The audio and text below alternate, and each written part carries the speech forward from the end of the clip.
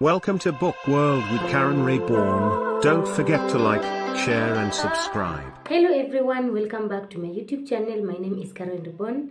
In case you're new here, this is the book Shreds and Ten- Shreds of Tenderness by John Ruganda.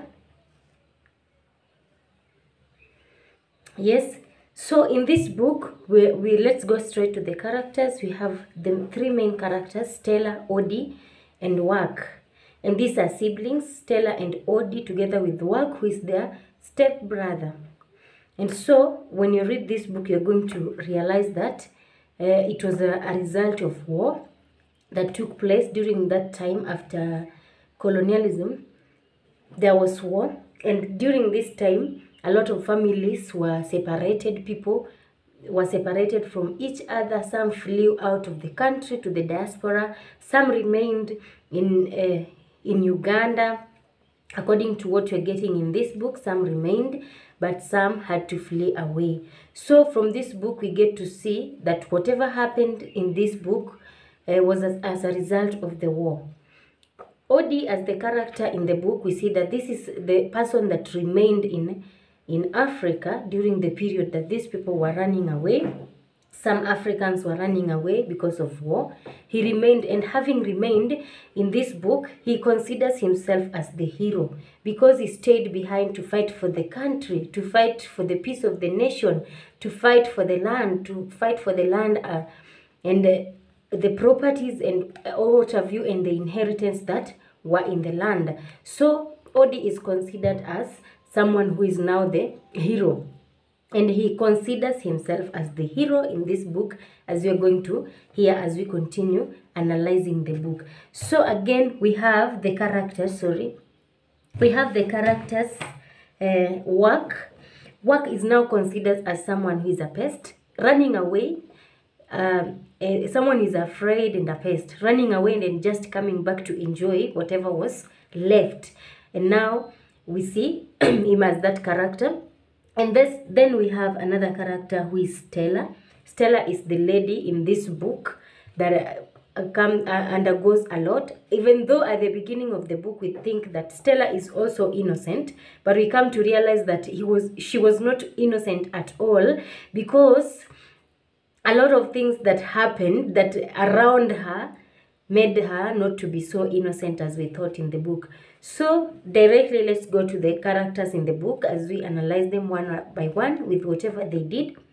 Stella, this is this was someone who is conspiring to be a nun, living in the con- convent together with other nuns, trying to get education from there. And this war, as it erupted, Stella was forced to now uh, stay there. And during the time we had these uh, officers who could go into these convents into the places of gathering and interfering with the peace of people there.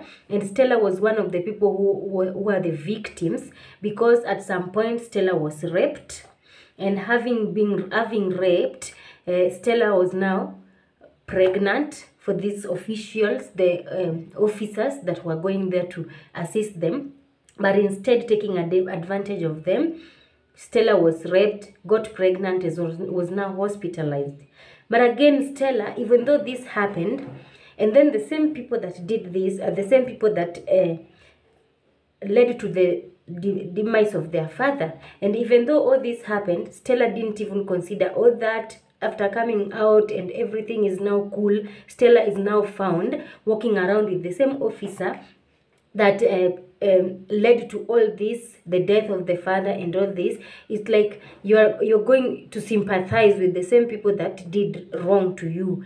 So this is what stella did and we can't consider stella as someone who is innocent in this book because if stella is going to be innocent then everyone else is. As a lady you're undergoing all this but instead of just keeping off from these people and just chasing after what you think is right instead stella goes back and has a thing with the same same people that did all this. Again we have uh, um, odie in the book is considered as someone who is a hero. At the beginning of the book we can see that he's playing with some jar of insect trying to practice how murder and even, uh, how murder can be conducted and even asked at some point uh, what makes a murderer tick. In short he's, try- he's trying to revenge in a way revenging in these insects in this book in the jar trying to mistreat them trying to uh, shoot them with the guns imitating the sounds of bullets and what have you as we can see in the book trying to humiliate them the same way the officials or the government officials humiliated the people. And this we, we could also think that at the beginning that he was not it was nuts he was not okay upstairs. But then we get to see it it might also be a way of covering up because he knew what he was doing all through the book. He knew all the um, atrocities that he caused the brother and what have you so we get to see that even though we could think that he was now the hero of this book Odi is not the hero of the book because even the demise of the brother, you get to realize that it was Odi that sets up the brother by telling the officers or the officials of where the brother was. Because uh, there's a time Wak was teaching about the inevitable road that will lead us back to democracy to the university to students. And though uh, Odi was was the brother, he was also the government agent. And as the government agent, he had to set the brother up.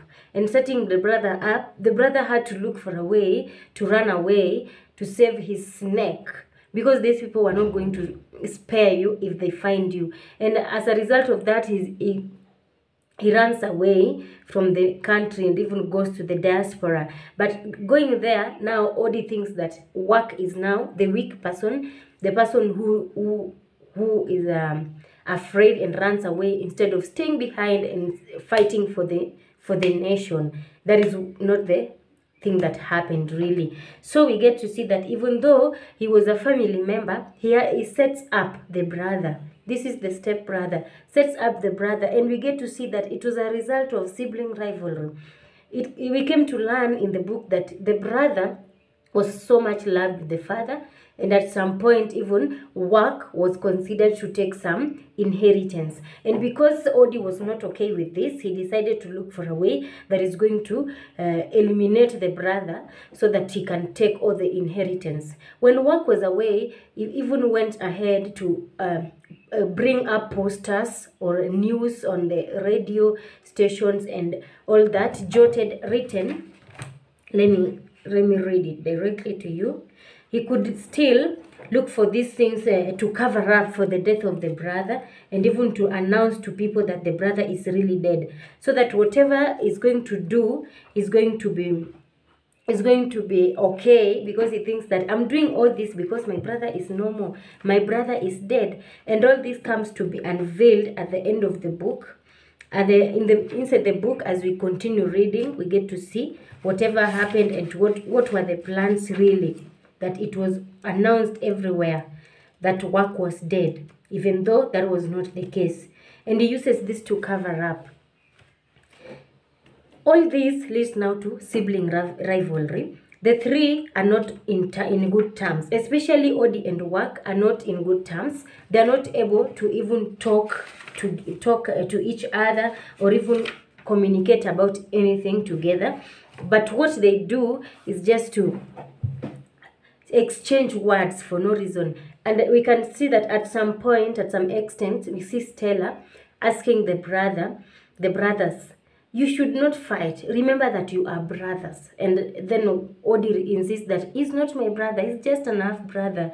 He's just uh, my step brother, he's not my real brother. And this is now the sib- sibling rivalry that we can see, the strife that was in the family just because of the family inheritance. They wanted to, uh, Odi wanted to inherit whatever the father left behind. To some, to an extent of even burying the brother. They, they organized for a ceremony, a session, and did that so that it could be so clear that Wak is now dead. And then Wak now comes back.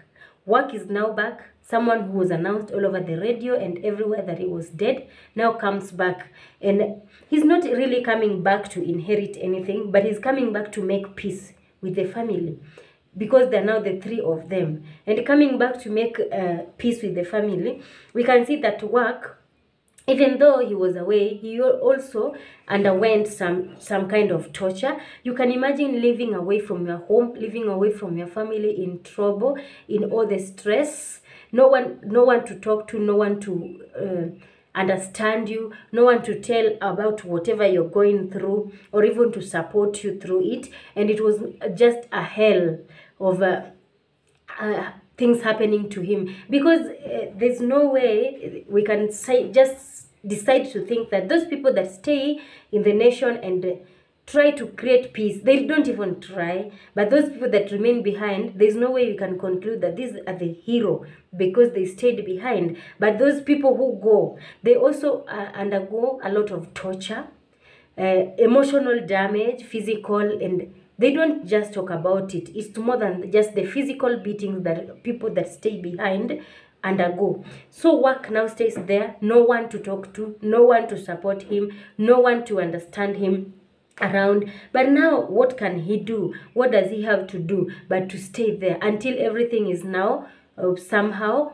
cool? He can now come back. And coming back meeting the brother the brother now is so insecure and thinks that uh, my brother Wak has just come back to take back inheritance from me because he was now ready to inherit everything. He was confident that the brother was no more. And now the brother comes back. This brings insecurity this rivalry this strife. The family inheritance brought about all the strife in them in the between the siblings. And at some point they could not even um, speak as brothers okay so uh, to talk about it again uh, i will say that um, we also had Wak wandering there's this character that we see in the book called Katalikawe. Katalikawe was a dropout, dropout. And then when Wak comes back, Katalikawe is now uh, someone who owns a lot of properties. And it's like, this was a, a, a school dropout. How is it now possible that he's now the, the wealthiest person around? The, someone who is now wealthy I, I know what you know what i mean so Wak wonders how is it possible it means that even those that remained behind they were really not fighting they were really not fighting for the peace of people but instead what they were doing was just to take whatever they could and to benefit themselves i mean so we get to see also that in the book.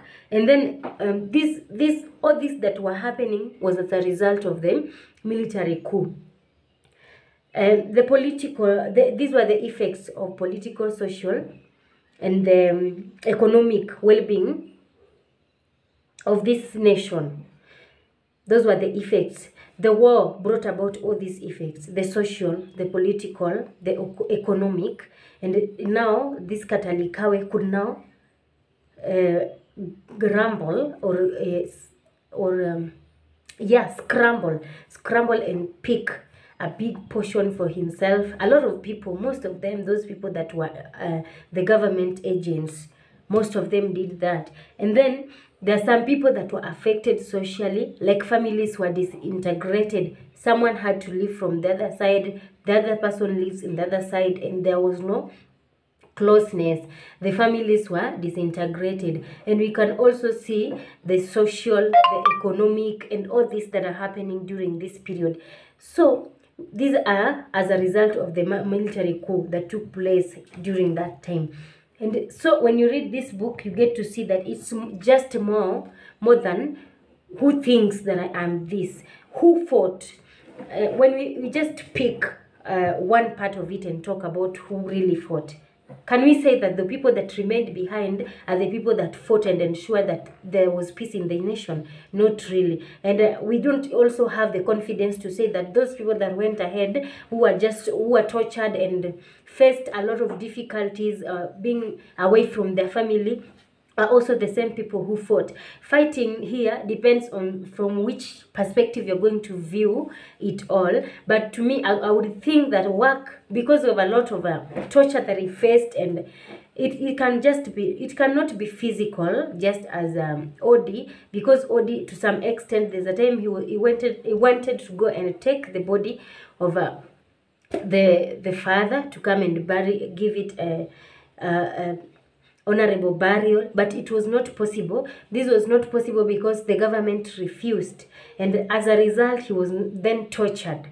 which is still okay. We can say that he, as a result, there, there was the physical beating.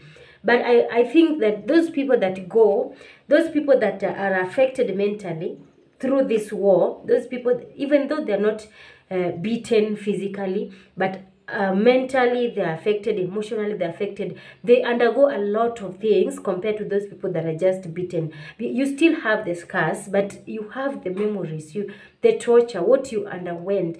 And so uh, i can say that even though odi thought he was the hero in the book we get to see that he was not even not even stella was the hero uh, but all of them had weaknesses. And this separation in the family was just as a result of this war that was taking place during this time.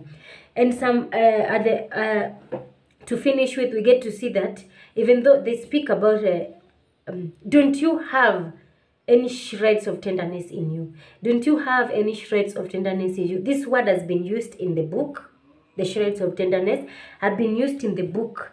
And don't you have that just means that don't you have some love?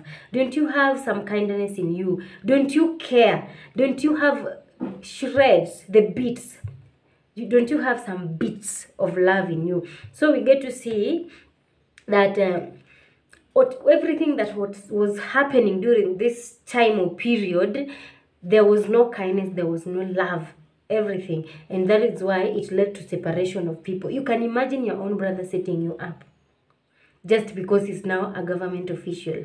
And now they confessed uh, Wak coming back led to them having uh, restoring back their relationship by confession. They confessed whatever happened in the book. At the end we can see that even though they did all that they got to a point of confessing. And then even at the, as the book ends we get to see they join together and talk odi talks about on the contrary i have discovered my mind and you may not believe this. Both of you i'm not doing this to prove i'm not cow i'm no coward. No pun intended. Thanks all the same. Wak. Thanks. And you see thank you.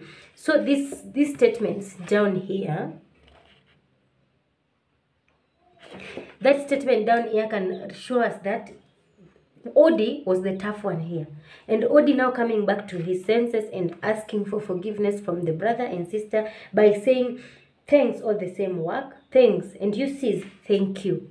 That means that the, the, there was now reunion between these people. Even though uh, the meeting was not okay, the meeting was not the best, but at the end we get to see that they come back together as siblings. So these are just the effects of war. Whatever happened during war there are separation of families separation sibling rivalry. People think that uh, some people do certain things just to gain something. And then whatever the sibling had for each other it was now unveiled. No one knew that Wak uh, at the Wak could not even imagine that at some point odi was not okay with him being close to the father. But this is someone that that's something that was eating up odi until this period when we come to see that he's now doing this just to set up the brother and even to put up information in the media about the death of the brother. So sorry. So that is what uh, uh, briefly that's the just a, a brief summary of the book. If you want to get the full details of this book just grab a copy read it and you're going to enjoy and even learn about what more things that i've not even talked about. So thank you so much for watching until this the end of this video. Thank you so much for always coming back and watching my videos. And until then i want to say bye and remember to subscribe to my channel. Remember we are on the road to a thousand subscribers. Kindly let's get to a thousand subscribers by the end of march. Thank you so much and have a blessed time